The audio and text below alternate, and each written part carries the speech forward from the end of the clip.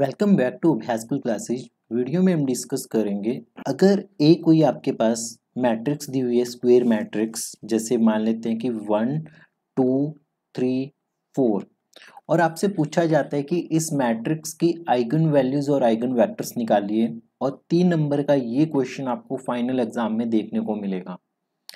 तो समझते हम कैसे निकालेंगे। सबसे पहले आपको करना क्या है कि करेक्टरिस्टिक इक्वेशन बनानी है। करेक्टरिस्टिक इक्वेशन कैसे दी जाएगी आपके पास? Determinant of A minus lambda I equal to zero इस तरीके से आपकी करेक्टरिस्टिक इक्वेशन बनेगी। तो लैमडा आई आपके पास क्या बनेगा? लैमडा आई बनेगा lambda zero zero and lambda ठीक है? तो ए मैट्रिक्स ये बन गई लैमडा आई ये बन गया। अगर आप इन दोनों का डिफरेंस कंसिडर करोगे डिफरेंस आपके पास बनेगा one minus lambda four two three minus lambda equal to zero. तो बेसिकली ये क्या बना? Three minus lambda equal to zero. अब आपको इस डिटर्मिनेंट को सॉल्व करके एक लैमडा में क्वाड्रेटिक इक्वेशन बनेगी।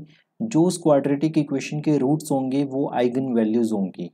तो सबसे पहले इसे सॉल्व करते हैं। One minus lambda into three minus lambda minus eight equal to zero. और फर्दर जब आप इसे प्रॉपरली लिखोगे नेक्स्ट स्टेप में तो बनेगा lambda square minus four lambda minus five equal to zero और जो इसकी आइगन वैल्यूज़ रूट्स निकलेंगे, वो निकलेंगे lambda plus one into lambda minus five equal to zero तो यहाँ से लैमडा की वैल्यू माइनस वन और लैमडा की वैल्यू फाइव ये वैल्यूज़ आ गया आपके पास। तो सबसे फ़र्स्ट स्टेप आपका करना पड़ेगा कि करेक्टरिस्टिक इक्वेशन लिखनी पड़ेगी। और ये बहुत केयरफुली ये वाले स्टेप्स करने पड़ेंगे। अगर आपको इनमें भी बहुत प्रॉब्लम आ रही है, तब आप मैसेज बॉक्स में लिख सकते हो कमेंट बॉक्स में लिख सकते हो या मैसेज कर सकते हो। तो मैं पर्सनली एक लाइव ऑनलाइन क्लास लेके आपकी हेल्प कर दूँगा कि इन सारे स्टेप्स में रूट्स कैसे निकालते हैं एंड ऑल दैट फिर अब हमारा नेक्स्ट टास्क है कि हमें आइगन वैल्यूज़ आइगन वेक्टर्स निकालने हैं।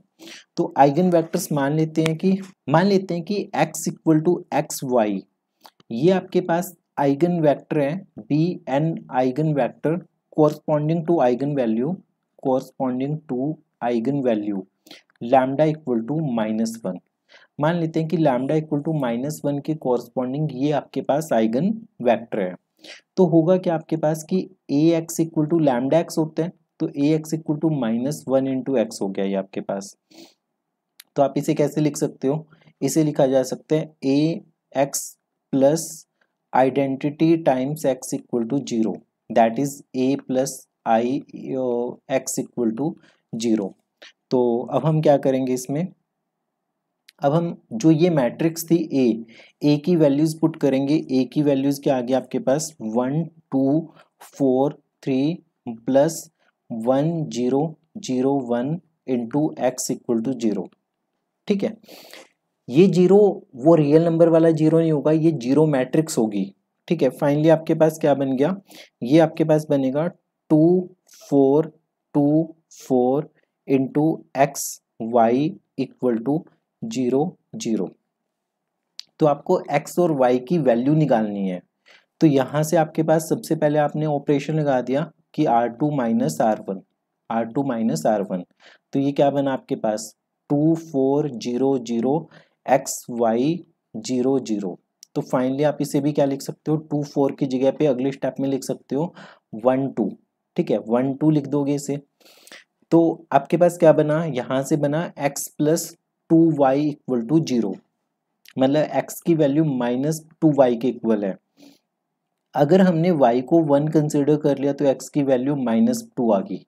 तो यहाँ पे आपकी मर्ज़ी है कि आप y को वन बाई टू लेना चाहते हो, y को टू लेना चाहते हो थ्री फोर जो भी लेना चाहते हो, वो ले सकते हो।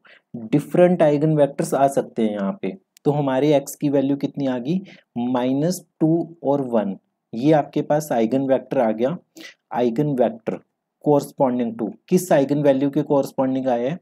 Corresponding to eigen value eigen value क्या थी आपके पास? Lambda equal to minus one थी।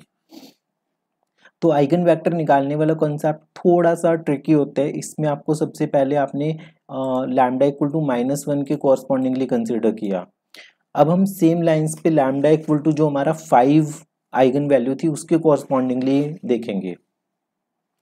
तो let